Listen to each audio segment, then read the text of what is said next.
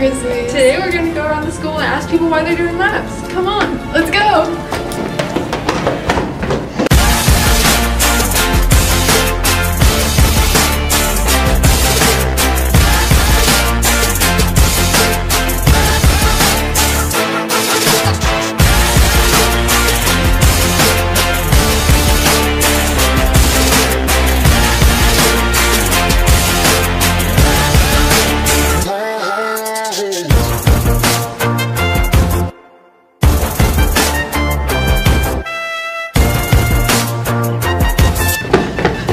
Thanks to everyone who helped us out.